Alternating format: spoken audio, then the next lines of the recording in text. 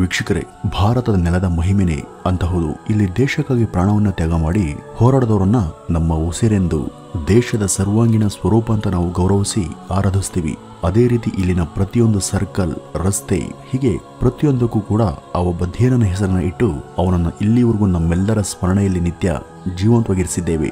ಯಾವ ವಾಹನದ ಮೇಲೆ ನೋಡಿದ್ರೂ ಕೂಡ ನಟ ನಟಿಯರ ಚಿತ್ರಗಳೇ ರಾರಾಜಿಸುವಂತಹ ಈಗಿನ ಯುಗದಲ್ಲಿ ಆ ಒಬ್ಬ ರಾಜನ ಸ್ಟಿಕ್ಕರ್ ಮಾತ್ರ ಸಿನಿಮಾ ನಟ ನಟಿಯರಿಗೂ ಕೂಡ ಸೆಡ್ಡನ್ನು ಹೊಡೆದು ಕಾರ್ಗಳ ಮೇಲೆ, ಬೈಕ್ಗಳ ಮೇಲೆ, ಆಟೋಗಳ ಮೇಲೆ, ಹೀಗೆ ಹಲವು ವಾಹನಗಳಲ್ಲಿ ಈ ಒಬ್ಬ ರಾಜನ ಫೋಟೋ ರಾರಾಜಿಸುತ್ತೆ. ತಾನು ದೈಹಿಕವಾಗಿ ಮರೆಯಾಗಿ ಇವತ್ತಿಗೂ ನಾಲ್ಕು ಶತಮಾನಗಳೇ ಕಳೆದು ಹೋದ್ರೂ ಕೂಡ ಅಸಂಖ್ಯಾತ ಭಾರತೀಯರ ಜನಮಾನಸದಲ್ಲಿ ಸ್ಫೂರ್ತಿಯ ಚಿಲುಮೆಯಾಗಿ ಜೀವಂತವಾಗಿರುವಂತಹ ಆ ದೊರೆಯ ಹೆಸರೇ ಛತ್ರಪತಿ ಶಿವಾಜಿ ಮಹಾರಾಜ್. ಹೌದು ಒಂದು ಶಿವಾಜಿ ಜಯಂತಿ ಬಂದರೆ ಸಾಕು. ಲಕ್ಷಾಂತರ ಮಂದಿ ಹಿಂದೂ ಯುವಕರು ಶಿವಾಜಿಯ ಪ್ರತಿಮೆಗೆ ಭಕ್ತಿಯಿಂದ ನಮಸ್ಕರಿಸಿ ಆತನ ಕ್ಷಾತ್ರ ಧೀರತೆಯನ್ನು ಹೆಮ್ಮೆಯಿಂದ ಸ್ಮರಿಸಿಕೊಳ್ತಾರೆ. ಅವನ ವೀರಾವೇಶತನ ನೆನೆದು ಪುಳಕಿತರಾಗ್ತಾರೆ. ಶಿವಾಜಿ ಹುಟ್ಟಿದ ನಾಡಲ್ಲಿ ತಾವು ಕೂಡ ಹುಟ್ಟಿದ್ದಕ್ಕಾಗಿ ಒಂದು ಕ್ಷಣ ಗರ್ವವನ್ನು ಪಡ್ತಾರೆ. ವೀಕ್ಷಕರೇ, ಅಸಲಿಗೆ ಈ ಶಿವಾಜಿ ಮಹಾರಾಜರ ಸಾಧನೆ ಏನು? ಇವರನ್ನ ಯಾಕೆ ಭಾರತೀಯರು ಇಷ್ಟೊಂದು ಗೌರವಿಸ್ತಾರೆ ಹಾಗೂ ಇವ್ರ ಬಗ್ಗೆ ಹೆಮ್ಮೆ ಪಡ್ತಾರೆ? ಅಷ್ಟಕ್ಕೂ ಈ ಶಿವಾಜಿ ಮಹಾರಾಜ್ ಭಾರತೀಯರೆಲ್ಲರೂ ಕೂಡ ಗರ್ವಿಸುವಂತಹ ಆ ಒಂದು ಉಚ್ಚ ಸ್ಥಾನಕ್ಕೆ ಏರಿದ್ದು ಹೇಗೆ ಎಂಬುದರ ಬಗ್ಗೆ ಇವತ್ತಿನ ಈ ಒಂದು ವಿಡಿಯೋದಲ್ಲಿ ತಿಳಿತಾ ಹೋಗೋಣ ಬನ್ನಿ ವೀಕ್ಷಕರೇ. ವೀಕ್ಷಕರ, ಶಿವಾಜಿಯವರು ಮಹಾರಾಷ್ಟ್ರದ ಪುಣೆಯ ಬಳಿಯ ಜನ್ನರ್ ನಗರದ ಶಿವನೇರಿ ಕೋಟ ಎಂಬಲ್ಲಿ ಫೆಬ್ರವರಿ ಹತ್ತೊಂಬತ್ತು ಸಾವಿರದ ಆರುನೂರ ಮೂವತ್ತರಲ್ಲಿ ಶಹಾಜಿ ಹಾಗೂ ಜೀಜಾಬಾಯಿ ಎಂಬ ದಂಪತಿಯ ಮಗನಾಗಿ ಜನಿಸ್ತಾರೆ. ಮೂಲತಃ ಇವರು ಕುಶಿಗ ಕುಟುಂಬ. ತಮ್ಮ ಮೊದಲ ಮಗುವಿನ ಬಳಿಕ ಜನಿಸಿದ ಮಕ್ಕಳೆಲ್ಲ ಒಂದಿಲ್ಲೊಂದು ಕಾರಣದಿಂದ ಸಾವನ್ನಪ್ಪೋದಕ್ಕೆ ಶುರುವಾದಾಗ ಈ ದಂಪತಿ ತಾವು ಆರಾಧಿಸುವ ಪಾರ್ವತಿ ದೇವಿಯ ಹೆಸರನ್ನ ಈ ಶಿವಾಜಿಗೆ ಇಡ್ತಾರೆ. ಅವರು ಪಾರ್ವತಿಯನ್ನ ಶಿವೆ ಅಂತಾನೆ ಪೂಜಿಸ್ತಾರೆ. ಈ ಶಿವೆ ಎಂಬುದು ಶಿವಾಜಿಯಾಗಿ ರೂಢಿಗೆ ಬಂತು. ಶಿವಾಜಿಗೆ ತನ್ನ ತಾಯಿ ಜೀಜಾಬಾಯಿನೇ ತನ್ನ ಮೊದಲ ಗುರುವಾಗಿದ್ರು. ಆಕೆ ಸಮಾಜದಲ್ಲಿ ಹೇಗೆ ಎಲ್, ಆಕೆ ಸಮಾಜದಲ್ಲಿ ಹೇಗೆ ಎಲ್ಲರ ಪ್ರೀತಿ ಸಂಪಾದಿಸಬೇಕು ಎಲ್ಲರ ಜೊತೆ ಹೇಗೆ ವ್ಯವಹರಿಸಬೇಕೆಂಬ ಪ್ರಾಥಮಿಕ ಸಂಗತಿಗಳನ್ನ ಶಿವಾಜಿಗೆ ಕಲಿಸಿದ್ರು. ಇನ್ನು ಶಿವಾಜಿಯ ತಂದೆಯಾದಂತಹ ಶಹಾಜಿ ಓರ್ವ ಧೀಮಂತ ನಾಯಕರಾಗಿದ್ರು. ಅವರು ಮರಾಠ ಸಾಮ್ರಾಜ್ಯದ ಸಂಸ್ಥಾಪಕರು ಕೂಡ ಹೌದು. ರಾಜನೀತಿ ಹಾಗೂ ಆಡಳಿತ ತಂತ್ರಗಳನ್ನೆಲ್ಲ ಅವರು ತಮ್ಮ ಮಗ ಶಿವಾಜಿಗೆ ಹೇಳಿಕೊಡ್ತಾ ಇದ್ರು. ಒಬ್ಬ ರಾಜನಾಗಿ ಹೇಗೆ ಬದುಕಬೇಕು? ರಾಜನಾಗಿ ತಾನು ಕಲಿಯಬೇಕಾದದ್ದು ಏನು ಎಂಬುದನ್ನ ಶಹಾಜಿ ತಮ್ಮ ಮಗ ಶಿವಾಜಿಗೆ ಚಿಕ್ಕಂದಿನಲ್ಲಿಯೇ ಕಲಿಸ್ಕೊಟ್ರು. ವೀಕ್ಷಕರು, ಇಲ್ಲಿ ನಿಮ್ಗೆಲ್ಲ ಒಂದು ಇತಿಹಾಸದ ವಿಷಯವನ್ನ ತಿಳಿಸಬೇಕು. ಶಹಾಜಿಯ ವೈಭವವನ್ನು ಸಹಿಸದಂತಹ ಕೆಲ ಕುತಂತ್ರಿಗಳು ಈ ಬಗ್ಗೆ ಮೊಘಲರಿಗೆ ಸುದ್ದಿಯನ್ನ ಓದಿ ಮೊಘಲರು ಆಗಿನ ಆದಿಲ್ ಶಹಾಗಳ ಜೊತೆ ಕೈಮೇಲಾಯಿಸಿ ಮೋಸದಿಂದ ಶಹಾಜಿಯನ್ನ ಆಕ್ರಮಿಸ್ತಾರೆ. ಅವರು ಶಹಾಜಿಯ ಸಾಮ್ರಾಜ್ಯವನ್ನು ವಶ ಮಾಡಿಕೊಂಡ ಸಂದರ್ಭದಲ್ಲಿ ಸಾಮ್ರಾಜ್ಯ ತೊರೆದು ಬೆಂಗಳೂರಿಗೆ ಹೊರಡುವಂತೆ ಶಹಾಜಿಗೆ ಆದೇಶಿಸ್ತಾರೆ. ಆದರೆ ತಾನು ಹುಟ್ಟಿ ಬೆಳೆದ ಊರಾದ ಪುಣೆಯನ್ನ ಇತರರಿಗೆ ವಹಿಸಿಕೊಳ್ಳೋದಕ್ಕೆ ಒಪ್ಪದ ಶಹಾಜಿ ತಾನು ಹೊರಟ ಬಳಿಕ ಈ ಒಂದು ನಾಡನ್ನ ತನ್ನವರೇ ಆಡಬೇಕೆಂಬ ಒಪ್ಪಂದ ಮಾಡಿಕೊಂಡೇ ಬೆಂಗಳೂರಿಗೆ ಹೊರಡ್ತಾರೆ. ಹೊರಡುವ ಮುನ್ನ ಶಹಾಜಿ ಅಧಿಕಾರವನ್ನ ತನ್ನ ಮಡದಿಯಾದ ಜೀಜಾಬಾಯಿಗೆ ವಹಿಸಿ ತನ್ನ ಖಡ್ಗವನ್ನ ಶಿವಾಜಿಗೆ ಹಸ್ತಾಂತರಿಸಿ ಈಗ ಮರಾಠದ ದೊರೆ ಹಾಗೂ ಹಿಂದೂ ರಾಜನಾಗಿ ಆತ ಮುಂದೆ ನಿರ್ವಹಿಸಬೇಕಾದಂತಹ ಕರ್ತವ್ಯವನ್ನು ಮತ್ತೊಮ್ಮೆ ಎಚ್ಚರಿಸಿ ತಾನು ಹೊರಡುತ್ತಾರೆ. ಈಗ ಶಿವಾಜಿಯ ಕರ್ತವ್ಯ ಹೆಚ್ಚಾಯಿತು.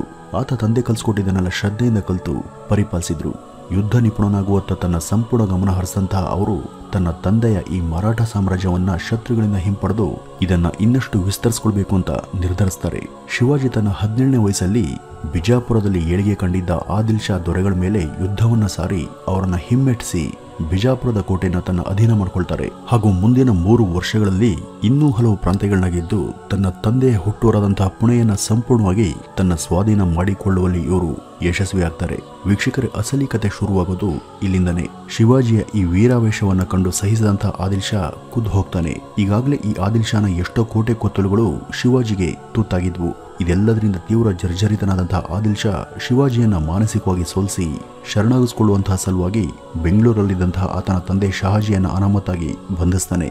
ಹಾಗೆ ಬೆಂಗಳೂರಿನಲ್ಲಿಯೇ ಇದ್ದ ಶಿವಾಜಿಯ ಸಹೋದರನ್ನು ಕೂಡ ಬಂಧಿಸೋದಿಕ್ಕೆ ಹಾಗೂ ಶಿವಾಜಿಯನ್ನು ಕೂಡ ಬಂಧಿಸಲು ಹೀಗೆ ಎರಡು ಸೇನೆಗಳನ್ನ ಆದಿಲ್ ಶಾ ಕಳಿಸ್ತಾನೆ ಕೂಡ. ಆದರೆ ಅವನ ಏಣಿಕೆ ತಪ್ಪಾಗಿ ಶಿವಾಜಿ ಸಹೋದರರು ಈ ಸೇನೆಗಳನ್ನ ಧೂಳಿಪಟ ಮಾಡಿ ಹಿಮ್ಮೆಟ್ಟಿಸ್ತಾರಲ್ಲದೆ ತಮ್ಮ ತಂದೆಯನ್ನು ಕೂಡ ಬಂಧ ಮುಕ್ತರಾಗಿ ಮಾಡ್ತಾರೆ. ಶಿವಾಜಿಯ ಸಾಹಸ ಪದೇ ಪದೇ ಈ ರೀತಿಯಾಗಿ ಆದಿಲ್ ಶಾನನ್ನ ಕೆಣಕುತ್ತೆ. ಅವನು ಈ ಬಾರಿ ಹಸ್ಖಾನ್ ಎಂಬ ಶಕ್ತಿಶಾಲಿ ಯೋಧರೊಬ್ಬನ ಸಹಾಯವನ್ನು ಪಡೆದು ಶಿವಾಜಿಯ ಮೇಲೆ ಪರಾಕ್ರಮ ತೋರಿಸಿ ಸೋಲಿಸುವಂತೆ ಕೇಳ್ಕೊಳ್ತಾನೆ. ಈಗಾಗಲೇ ಈ ಶಿವಾಜಿಯ ಬಗ್ಗೆ ಕೇಳಿ ತಿಳ್ಕೊಂಡಿದ್ದಂತಹ ಈ ಹನ್ ಮೊದಲು ಶಿವಾಜಿಯ ಬಲಾಬಲಗಳ ಬಗ್ಗೆ ಅಧ್ಯಯನವನ್ನ ಮಾಡ್ತಾನೆ. ಈ ಶಿವಾಜಿಯನ್ನ ತಾನು ಆತನ ಗೆರಿಲ್ಲಾ ಯುದ್ಧದ ತಾಕತ್ತಿನ ಮುಂದೆ ಗೆಲ್ಲಲಾರೆ ಅಂತ ಅರಿತು ಶಿವಾಜಿಯನ್ನ ಕೇವಲ ರಣರಂಗದಲ್ಲಿ ಮಾತ್ರವೇ ನೇರವಾಗಿ ಎದುರಿಸಿ ಗೆಲ್ಲೋದಕ್ಕೆ ಸಾಧ್ಯವೆಂದು ಮನಗಂಡು ಶಿವಾಜಿಯನ್ನ ಕೆಣ್ಕೋದಿಕ್ಕೆ ಅವನ ಇಷ್ಟ ದೈವವಾದ ಭವಾನಿ ದೇಗುಲವನ್ನ ಆಕ್ರಮಿಸ್ತಾನೆ. ದೇಗುಲಕ್ಕೆ ರಕ್ಷಣೆ ಬೇಕಾದ್ರೆ ಶಿವಾಜಿ ಯುದ್ಧಕ್ಕೆ ಬರಲಿ ಅಂತ ಅವನು ಆಹ್ವಾನಿಸ್ತಾನೆ. ಆದರೆ ಈ ಸಲತ್ತು ಗೊತ್ತಾ ಶಿವಾಜಿ ಯುದ್ಧಕ್ಕೆ ನಿರಾಕರಿಸಿ ರಾಜಿ ಒಪ್ಪಂದಕ್ಕೆಂದು ರಾಜೋಚಿತ ಸಭೆಗೆ ಆಹ್ವಾನಿಸ್ತಾನೆ. ಸರಿ ಹಾಗೂ ಶಿವಾಜಿಯ ಭೇಟಿ, ಅಲ್ಲಿ ಮೊದಲಾಗುತ್ತೆ ಖಾನ್. ಕುತಂತ್ರಿ ಹಾಗೂ ಕಪಟಿಂತ ಗೊತ್ತಿದ್ದಂತಹ ಶಿವಾಜಿ ತನ್ನ ರಕ್ಷಣೆಗೆ ಬೇಕಾದ ಎಲ್ಲವನ್ನೂ ಕೂಡ ತಯಾರಿ ಮಾಡಿಕೊಂಡೇ ಬಂದಿದ್ರು.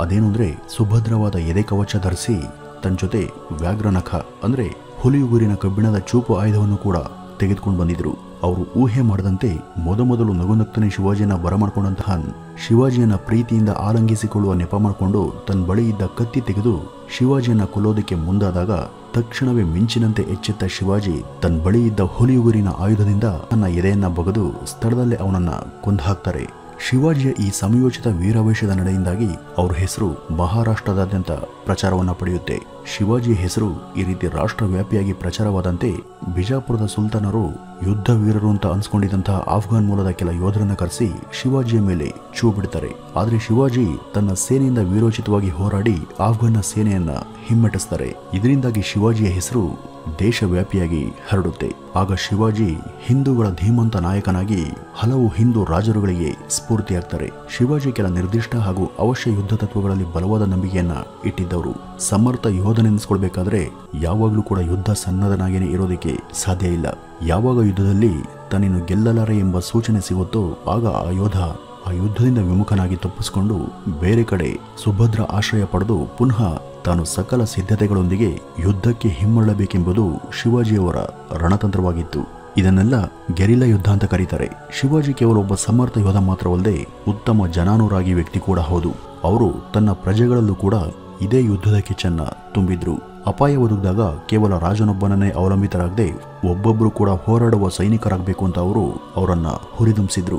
ಒಂದು ಸಶಕ್ತವಾದ ಉತ್ತಮ ಯುದ್ಧ ಕ್ರಮವನ್ನ ತನ್ನ ರಾಜ್ಯದಂತ ಜಾರಿಗೆ ತಂದ ಅವರು ಕೇವಲ ಎರಡು ಸಾವಿರ ಆಸುಪಾಸಲ್ಲಿದ್ದಂತಹ ತನ್ನ ತಂದೆಯ ಮರಾಠ ಸೇನೆಯ ಬಲವನ್ನ ಶಿವಾಜಿ ಒಮ್ಮೆಲೆ ಲಕ್ಷಾಂತರ ಸಂಖ್ಯೆಯಲ್ಲಿ ಏರಿಸಿದ್ರು. ಅವರು ತನ್ನ ಸೇನೆಯಲ್ಲೂ ಕೂಡ ದೇಶ ಪ್ರೇಮವನ್ನ ತುಂಬಿದ್ರು. ತಾವು ಪ್ರೀತಿಸುವ ನೆಲ, ಜನ ಅಂತ ಬಂದಾಗ ತಮ್ಮ ಪ್ರಾಣವನ್ನಾದರೂ ಅರ್ಪಿಸಿ ಹೋರಾಡುವಂತಹ ಸಮರ್ಥ ಯೋಧರನ್ನಾಗಿ ಶಿವಾಜಿ ತನ್ನ ಸೇನೆಯನ್ನ ಇಡಿಯಾಗಿ ರೂಪಿಸಿದ್ರು. ಇಂತಹ ಶಿವಾಜಿಯ ಸೇನೆ ಮೇಲೆ ಸಾವಿರದ ಆರುನೂರ ಅರವತ್ತರ ಹೊತ್ತಿಗೆ ಮೊಘಲರ ಅರಸನಾಗಿದ್ದಂತಹ ಔರಂಗಜೇಬ್ ತನ್ನ ಸಾಮಂತನಾದ ಶಹಿಸ್ತಾ ಖಾನ್ ಎಂಬುವನಿಗೆ ಒಂದೂವರೆ ಲಕ್ಷದಷ್ಟು ತನ್ನ ಬಲಾಯುತವಾದ ಸೇನೆಯನ್ನ ಹಾಗೂ ಅಗತ್ಯ ಸಮರ್ಥ ಶಸ್ತ್ರಾಸ್ತ್ರಗಳನ್ನು ಕೂಡ ಕೊಟ್ಟು ಶಿವಾಜಿಯ ಸಾಮ್ರಾಜ್ಯದ ಮೇಲೆ ದಾಳಿ ಮಾಡಿ ಅದನ್ನು ವಶಪಡಿಸಿಕೊಡುವಂತೆ ಆಜ್ಞಾಪಿಸ್ತಾನೆ.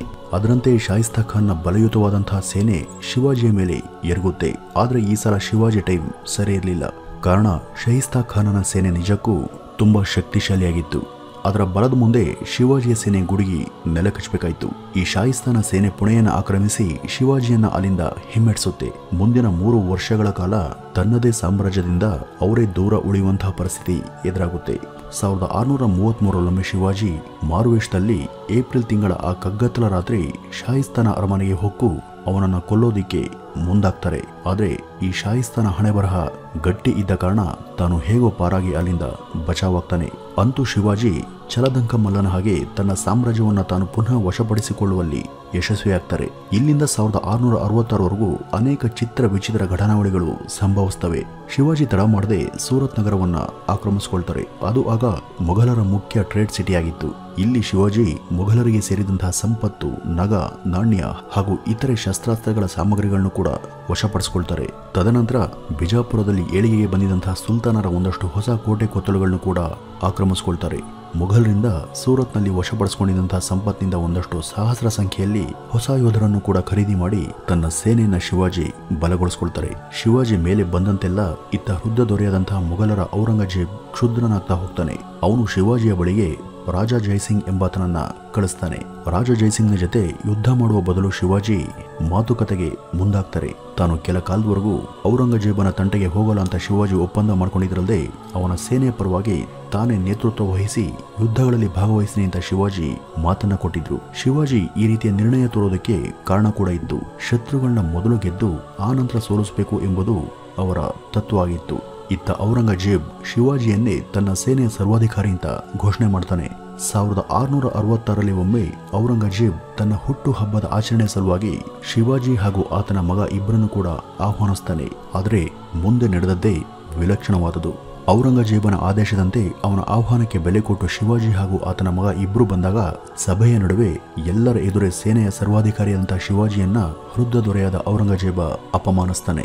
ಈ ಅಪಮಾನವನ್ನು ಸಹಿಸದೆ ಔರಂಗಜೇಬನ ಆಹ್ವಾನವನ್ನು ಧಿಕ್ಕರಿಸಿ ಹೊರ ನಡೆದಂತಹ ಶಿವಾಜಿ ಹಾಗೂ ಆತನ ಮಗ ಇಬ್ಬರನ್ನೂ ಕೂಡ ಔರಂಗಜೇಬನ ಬಂಟರು ಬಂಧಿಸ್ತಾರೆ. ಇಲ್ಲಿ ಔರಂಗಜೇಬ್ ಶಿವಾಜಿಯನ್ನ ಕರೆಸಿದ್ದೇ ಕೊಲ್ಲಿಸಲು. ಮುಂದಿನ ಕೆಲವು ತಿಂಗಳ ಕಾಲ ಶಿವಾಜಿ ಹಾಗೂ ಆತನ ಮಗ ಇಬ್ರು ಔರಂಗಜೇಬನ ಸೆರೆಮನೆಗಳಲ್ಲಿ ಬಂದಿಯಾಗಿಯೇ ಇರಬೇಕಾಗುತ್ತೆ. ಆದರೆ ಚತುರನು, ಸಮಯೋಚಿತನು, ಬುದ್ಧಿವಂತನೂ ಆಗಿದ್ದಂತಹ ಶಿವಾಜಿ ಪರಾಧೀನದಲ್ಲಿ ಹೆಚ್ಚು ಕಾಲ ಇರದೆ ಸ್ವಾಭಿಮಾನಿಯಾಗಿದ್ದವ. ಹಣ್ಣಿನ ಬುಟ್ಟಿಗಳಲ್ಲಿ ಶಿವಾಜಿ ತಾನು ಮಾತ್ರವಲ್ಲದೆ ತನ್ನ ಮಗನನ್ನು ಕೂಡ ಈ ರೀತಿಯಾಗಿ ಪಾರು ಮಾಡಿಸುವಲ್ಲಿ ಯಶಸ್ವಿಯಾಗ್ತಾರೆ ಮುಂದಿನ ಎರಡು ವರ್ಷಗಳವರೆಗೂ ಅವರು ಔರಂಗಜೇಬನ ವಿರುದ್ಧ ಏನೂ ಮಾಡದೆ ಸುಮ್ಮನಿರ್ತಾರೆ ಆದರೆ ತಂಟೆಕೋರ ಸ್ವಭಾವದ ಸೇನೆಯಾಗಿದ್ದಂತಹ ಔರಂಗಜೇಬನ ಸೇನೆ ಮಾತ್ರ ಶಿವಾಜಿ ಸುಮ್ಮನಿದ್ರು ಕೂಡ ಅವ್ರ ಮೇಲೆ ಕಾಲ್ಕಿರ್ಕೊಂಡು ಯುದ್ಧಕ್ಕೆ ಬರ್ತಾನೆ ಇತ್ತು. ಸಾವಿರದ ಆರುನೂರ ಅರವತ್ತೊಂಬತ್ತು ಹಾಗೂ ಎಪ್ಪತ್ತರ ನಡುವೆ ಪೂರ್ಣ ರೀತಿಯಲ್ಲಿ ಸಿದ್ಧಗೊಂಡಂತಹ ಶಿವಾಜಿ ಮೊಘಲರ ಮೇಲೆ ಉಗ್ರ ರೀತಿಯಲ್ಲಿ ದಾಳಿಯನ್ನು ಮಾಡಿ ಅವರೆಲ್ಲರನ್ನೂ ಕೂಡ ಘೋರ ರೀತಿಯಲ್ಲಿ ಸಾಯಿಸ್ತಾ ತನ್ನ ಪರಾಕ್ರಮ ಮೆರೆದ್ರು. ಮೊಘಲರ ಸೇನೆಯನ್ನ ಇಡಿಯಾಗಿ ನಿರ್ನಾಮ ಮಾಡೋದಕ್ಕೆ ನಿಂತ ಶಿವಾಜಿ ಮೆಲ್ಲನೆ ಮೊಘಲ್ ಆಕ್ರಮಿತ ಪ್ರದೇಶಗಳನ್ನು ಕೂಡ ಗೆದ್ದು ಬೀಗಿದ್ರು. ಈ ಕಾರಣಕ್ಕಾಗಿಯೇ ಸಾವಿರದ ಆರುನೂರ ಎಪ್ಪತ್ನಾಲ್ಕರಲ್ಲಿ ಶಿವಾಜಿಗೆ ರಾಯಗಢದಲ್ಲಿ ಛತ್ರಪತಿ ಎಂಬ ಬಿರುದು ನೀಡಿ ವಿರೋಚಿತವಾಗಿ ಸಂಭ್ರಮದಿಂದ ಪಟ್ಟಾಭಿಷೇಕವನ್ನ ಮಾಡಲಾಯಿತು. ಮೊಘಲರ ಶಕ್ತಿ ಪ್ರಾಬಲ್ಯವನ್ನು ಕುಂದಿಸಿ ವಿಸ್ತಾರವಾದ ಹಿಂದೂ ಸಾಮ್ರಾಜ್ಯವನ್ನ ಎತ್ತಿ ಹಿಡಿದ ಧೀಮಂತ ನಾಯಕ ಅಂತ ಅವರನ್ನು ದೇಶಕ್ಕೆ ದೇಶವೇ ಹಾಡಿ ಹೊಗಳಿತ್ತು. ಇಂಥ ಈ ಮಹಾದೊರೆ ಸಾವಿರದ ಆರುನೂರ ಎಂಬತ್ತರ ಏಪ್ರಿಲ್ ಮೂರನೇ ತಾರೀಕು ತೀವ್ರ ಜ್ವರದಿಂದಾಗಿ ಹಾಸಿಗೆಯನ್ನು ಹಿಡಿದು ಸಾವನ್ನಪ್ಪದ್ರು ಅಂತ ಚರಿತ್ರೆ ಹೇಳುತ್ತಾದರೂ ಶಿವಾಜಿ ಮಹಾರಾಜರ ಸಾವಿನ ಹಿಂದೆ ಒಂದಷ್ಟು ಅಸ್ಪಷ್ಟ ಥಿಯರಿಗಳಿವೆ. ಇದಿಷ್ಟು ಶಿವಾಜಿ ಮಹಾರಾಜರ ಬಗ್ಗೆ ಇರುವಂತಹ ಒಂದಷ್ಟು ಮಾಹಿತಿಗಳು. ನಮಸ್ಕಾರ.